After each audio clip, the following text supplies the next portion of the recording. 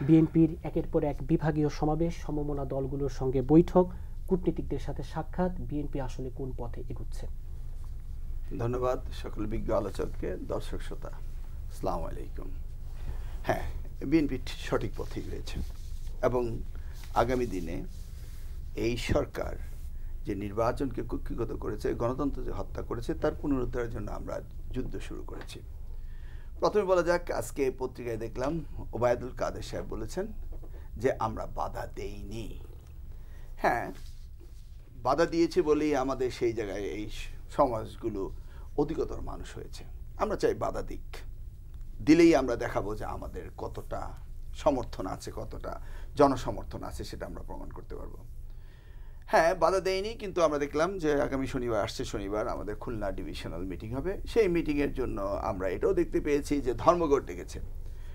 জনাব ওবায়দুল কাদের সাহেব এটাও বলেছেন যে যদি শ্রমিকরা করে, আমাদের তো করার কিছু নেই, কিন্তু সরকারের করার কিছু নেই। হ্যাঁ জ্বালানি সাশ্রয় হবে উনি যদি বাধা দেন তাহলে হয়তো উনি ভেবেছেন যে স্বাস্থ্যগতভাবে আমরা দূরত্ব মেনটেন করে বসবো। সেই দিক দিয়ে উনি আমাদের সহযোগিতা করছেন। কারণ করোনাকালীন সময়ে দূরত্ব মেনটেন করে বসা উচিত। সেই দিক দিয়ে তিনি সহযোগিতা করছেন। আসলে তারা কি বাধা দিচ্ছে না? আমরা দেখেছি ময়মনসিংহে কীভাবে মানুষ নৌকা দিয়ে পার হয়ে এসছে। আমরা দেখেছি ট্রেন বাস সব কিছু বন্ধ করে দিয়েছে। আমরা দেখেছি ক্ষুদ্র ক্ষুদ্র জনতার উপরে আক্রমণ করেছে চিটাগাঙ্গের বিভিন্ন জায়গা থেকে যাওয়ার সময়। আমাদের এলাকাতে যারা গিয়েছিল, তারাও বাধাপ্রাপ্ত হয়েছে। কিন্তু বাধা দিয়ে কোনো লাভ হবে না। যত বাধা দিচ্ছে, দেখুন একটি পরে আরেকটি মিটিং কতটা স্বতঃস্ফূর্ত মানুষ এখানে জড়িয়ে পড়েছে।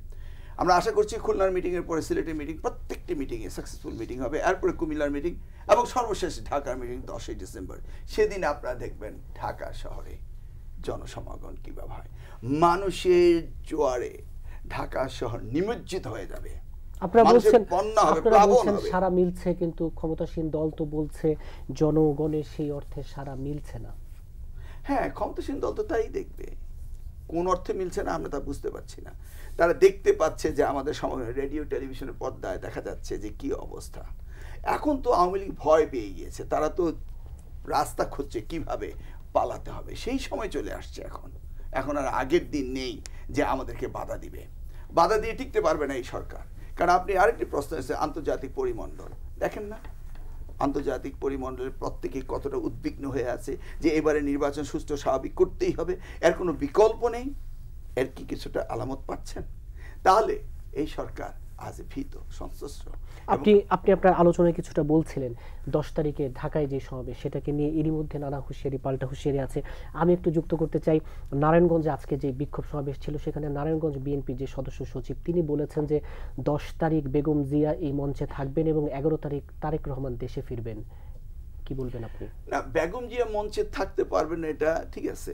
কিন্তু উনার স্প্রিট মঞ্চে থাকবে সেটা সে মিন করেছে।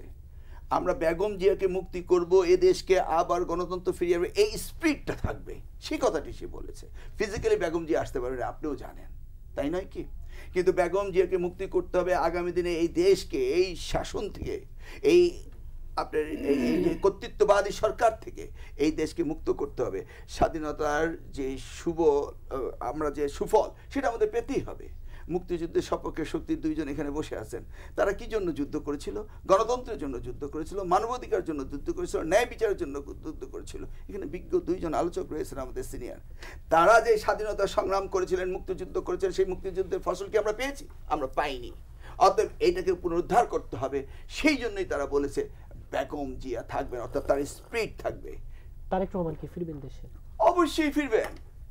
সময় মতো ফিরবেন। তাই নয় কি? কেন ফিরবেন না?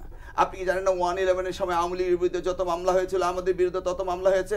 দুই হাজার আটে ক্ষমতায় এসে আওয়ামী লীগ তাদের মামলাগুলো সব সরকারি আদেশ দিয়ে উঠিয়ে নিয়েছে আর আমাদের মামলা দিয়ে এক একজনকে বাইরে রেখেছে। রাখিনি? তাহলে কেন আসবেন না?